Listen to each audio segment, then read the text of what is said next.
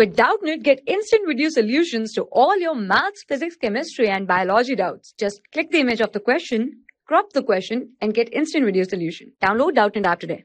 Hello everyone, in this question, the smallest ketone and its next homologous are react with NH2OH to form oximes. So let us find out how many oximes are formed in the uh, by reacting it with NH2OH. So let's find. So here is talking about smallest ketone. So here we have this type of ketone is there.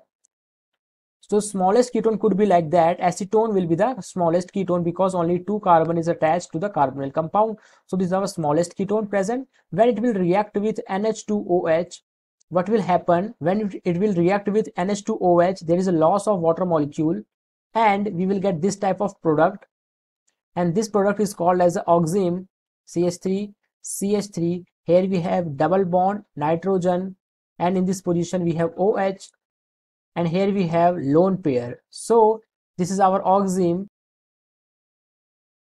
this is oxime formed by this acetone and let's have a look to the homologous next homologous. So what do you mean by next homologous? Means when we add one ch2 atom to this acetone then then we will get this type of homologous of acetone. We can say that ch2 ch3 and here ch3 is there.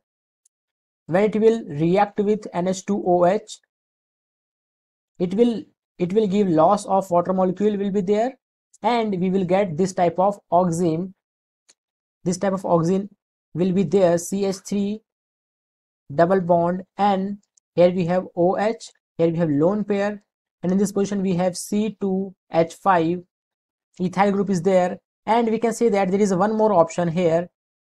One more option is here in this position. When it will when this OH is anti with CH3 and there is also and there is also chance that this this ethyl group will be anti with our this OH group. Then it will give this different type of oxime and it, there we have CH3 so we can say that we can say that this this next homologous will give two type of oxime first this methyl group is anti with OH and the second this ethyl group is anti with this OH so we will get total to total we will get one oxime two oxime and three oxime from acetone and its next homologous. So the answer of this question is option 3. Thank you. For class 6 to 12, IIT JEE and NEET level. Trusted by more than 5 crore students. Download Doubtnut App today.